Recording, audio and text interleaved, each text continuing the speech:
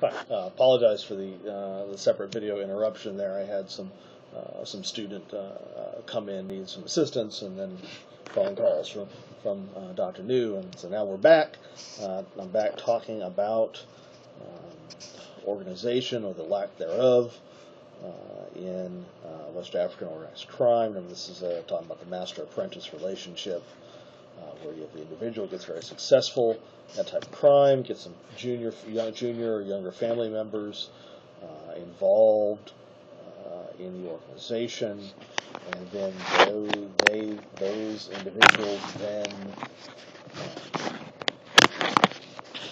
uh, apprentices. There is, uh, if if the operations become large enough, they may bring in people from outside the family, personal acquaintances, but usually those are only hired on an ad hoc basis. They're hired uh, for individual purposes. They might get hired as mules uh, or get hired for specific tasks, uh, but they're not permanent uh, members of the organization.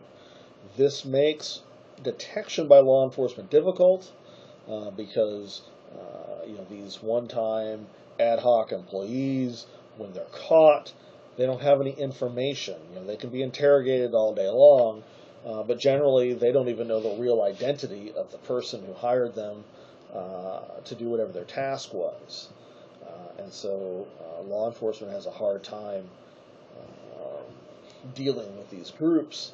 Uh, additionally, they are much like other organized crime groups. Those junior family members that are brought in are sworn to secrecy, generally told, you know, if you break the rules, we're going to take it out on your family. The other thing, another thing about organizations, because these are small, we're talking about core of the group being three to five members, uh, as far as permanent organization, and then any number of uh, ad hoc employees. Their small size keeps them from drawing the attention or the ire of the large organized crime groups because they're not really cutting into the profit margin uh, of the larger, you know, this Russian mobsters or the Sicilian mafia. Uh, and so they don't really draw the attention. Uh, they also find they make themselves very useful to these groups uh, because these smaller groups sometimes they can get into places the large groups can't. Um, and so I want to finish this talk by talking about some of the different types of crime that the organized groups, these these criminal groups, Again, it's up to you to decide whether or not they're truly organized crime. Uh, talk about some of the things these groups get into, uh, different types of crime. Uh, primarily, we'll start with their, their big claim to fame, uh, which is drug trafficking. Um, really, drug trafficking in the regions probably been around since the 1930s. Uh, at least that's what the, the German authorities will tell you. Um, but really, the Nigerians uh, get a lot of the blame uh, when it comes to drug trafficking in West Africa. Uh, countries like Ghana and Sierra Leone uh, point the finger uh, at, at, at, at, Nigeria and say, in the 1980s, the Nigerians, they started the drug trafficking, it's all their fault. And all the drug trafficking that happens in our country uh, was because the Nigerians brought it to us. Uh, and so the Nigerians, and of course the Nigerians are still major players in the drug trafficking through the region uh, not drug production, but drug trafficking, and of course some local sales. Um, but primarily there are just several good ports in places in Nigeria that are really good transfer points uh, for narcotics. Um, but really, all Western, while Nigeria is still is a major player, all Western African nations uh, get used as tra- tra- transfer points for uh, narcotic smugglers. Um, for specific drugs, uh, cocaine uh, tends to come through the Cape Verde Islands, uh, into, near Ghana, and then through Ghana, Nigeria, Togo, uh, and then from there into Spain, Portugal, and the United Kingdom. Heroin, on the other hand, usually comes out of South Asia into northern North African countries like Ethiopia and Kenya, and then into Cote d'Ivoire, uh, and then points in Europe and the United States. Um,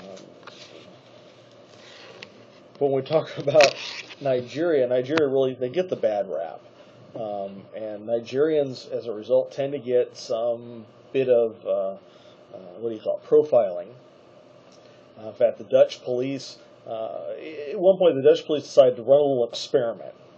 Um, and you normally, you know, in the in the airport in Amsterdam and other places, and, and, and there, the Dutch police there, uh, their pattern is randomly stopping individuals.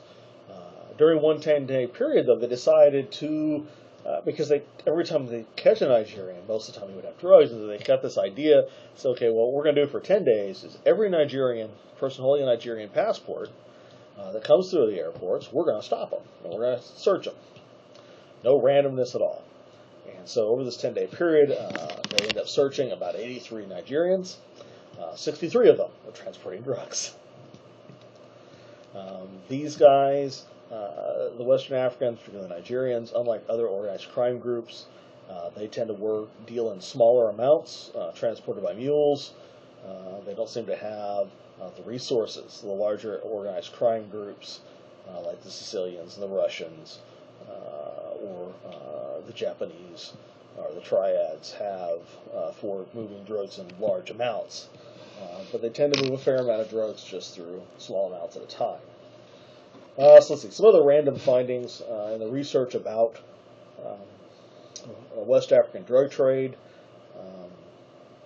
Uh, many of these uh, Western nations not only are involved in drug trafficking themselves, but find themselves to be used as a base by larger organized crime groups. Um, by that I mean by non-African organized drug traffickers.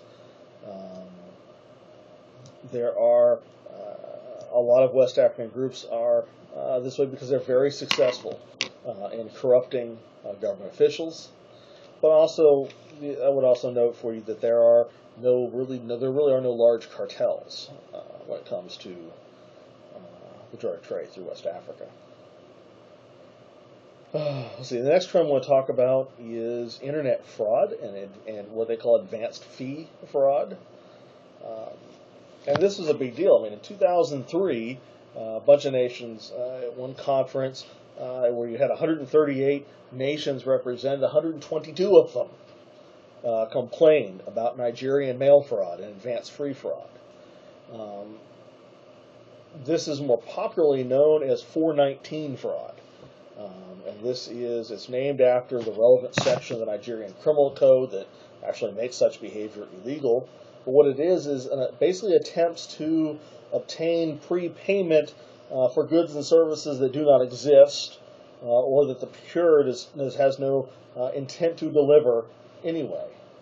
Um, typically, it involves a proposal uh, for some involvement in an illegal scheme, uh, such as money laundering, and then when the victim knowingly gets involved or agrees to participate, law enforcement tends not to care. At least, you know, at least that's the way it, it has been in the past. And and yeah, I'm willing to put good money down to bet that almost all, if not all of you, have experienced uh, the 419 scam.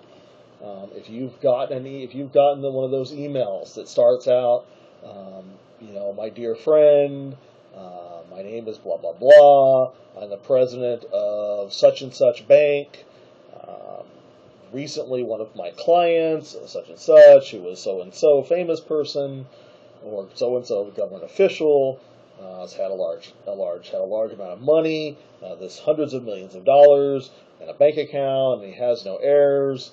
And I've got this plan to get to shuffle the money out of my bank and into your country.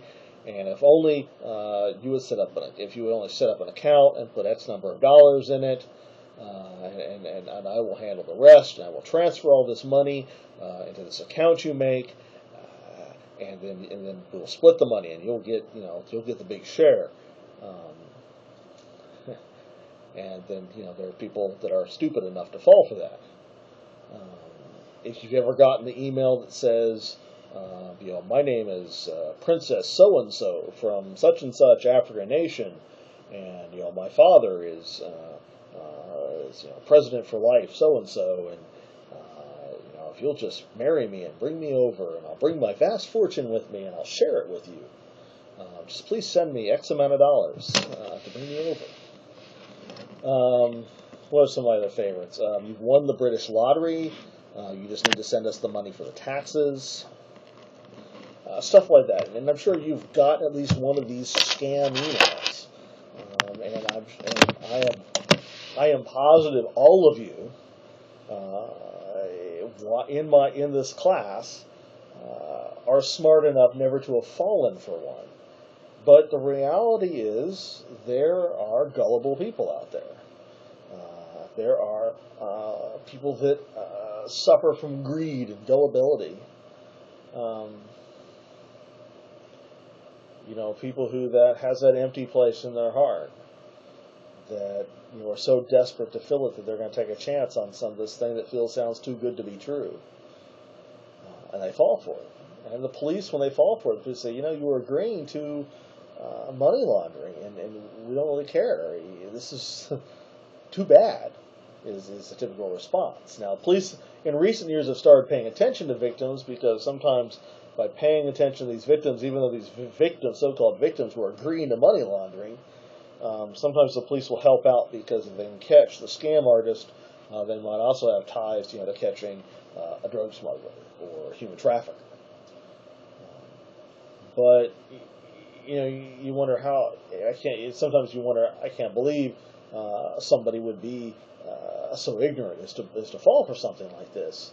But the reality is, you know, if you average, if you figured out the average loss for all internet fraud of all kinds, the average loss is about $435 US.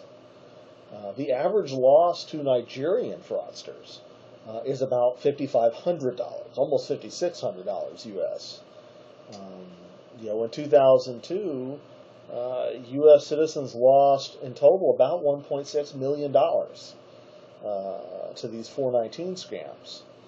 Uh, you know, and these are uh, these are usually 419 scams. Usually, uh, it's run by a group about two to five individuals. Uh, unlike unlike a lot of the other schemes and things that are done out of West Africa, um, these require some a slightly more sophisticated kind of individual because you need uh, at least the planners need to be individuals that are knowledgeable about email protocols uh, and email transactions so they can make these things uh, traceable. Um, they require individuals that are fairly knowledgeable about the relevant government and business practices. Uh, these are individuals that tend to have connections with attorneys, and so uh, they tend to be a little more sophisticated than your typical drug trafficker. The best story I read about in planning for the lecture um, had occurred uh, in the last decade. Uh, the ringleader of a particular scam, named Emmanuel Nwude, uh, N-W-U-D-E, uh, this guy was, uh, formerly had at one point been the member uh, of the board for the Union Bank, one of Nigeria's largest banks. Um, and him and his buddies, uh, some of his some of his co-conspirators, uh, you know, had, had played the part of Nigerian government officials or bank officials or Nigerian governors. Um, they really put on a really good scheme. They went to Brazil, uh, went to Sao Paulo, uh, and persuaded a Brazilian banker in Sao Paulo that they were working uh, with several banks to fund uh, the construction of a new airport in Abuja. And um, he showed them architectural designs and, and falsified government documents. You know, and had these guys that pretended to be government officials and just really pulled the wool over this guy's eyes. Um, and this Brazilian banker actually invested uh, $240 million uh, to be to go towards the construction fund for this uh, new airport that didn't really exist. Uh, the kicker for this, um, he was caught because the $240 million that he took out of his bank, he had done so illegally. Uh, and so not only did he manage to look foolish by being uh, scammed out of $240 million, uh, but he went to prison for uh, illegally absconding with $240 million of a Brazilian bank's money. Oops. Oh, let's see. Other crimes out of South Af- Western Africa include human trafficking. Uh, three types of human trafficking out of Western Africa uh, include agricultural slavery, uh, particularly uh, Western youth from other Western Western African nations, uh, but also um, youth from other parts of the world, uh, including some places in the Middle East like Lebanon. Um, second type of human trafficking is West Africa becomes a transfer point uh, for illegal immigration. Uh, you know, folks trying to get out, you know, paying uh, these traffickers to help them get out of uh, China and other parts of Asia. Uh, they tra- tend to transfer uh, in uh, various parts of Western Africa. And then third, there's a large sex trafficking uh, uh, market, uh, particularly in Sierra Leone and, and Nigeria. Uh, Sierra Leone uh, tends to sell young teens uh, to uh, wealthy business owners in Lebanon, while the Nigerians uh, tend to sell their young people uh, in Italy and other places in the Middle East. Let's see what's next. Next is. On that map. Um, other things that occur in Western Africa include diamond smuggling. Um, maybe you've probably heard about, you know, uh, what they what sometimes refer to as conflict diamonds. Uh, these, um, you know, in Sierra Leone, uh, there is a, you know, a mass quantity of particularly easy uh, to mine uh, diamonds uh, that are both high in quality and easy to and easy to mine. Deficiencies in government policy make it very easy to smuggle these diamonds in and out of Sierra Leone. And really, the profit is uh, not from the illegal mining, but the export uh, to wholesale uh, distributors and gem cutters. Uh, these are folks around are you know folks all around the world, but particularly a lot of these conflict diamonds end up in Belgium. Uh, one of the one of the strange one of the th- things though is this uh, this illegal diamond smuggling uh, is an export business, while it comes out of Africa, it tends to be uh, dominated by non-Africans. Uh, and it is also often used, the diamonds are often used by rebels and terrorist groups in Western Africa, um, you know, used to finance their operations. And other organized crime groups, non African organized crime groups, tend to use these diamonds uh, as a form of money laundering. So they use the diamonds as a form of currency. Let's see, just some generic other crimes used in Africa forgery. Um, uh, fairly good at uh, forging passports and travel documents. About two grand a piece will get you all the travel documents you need.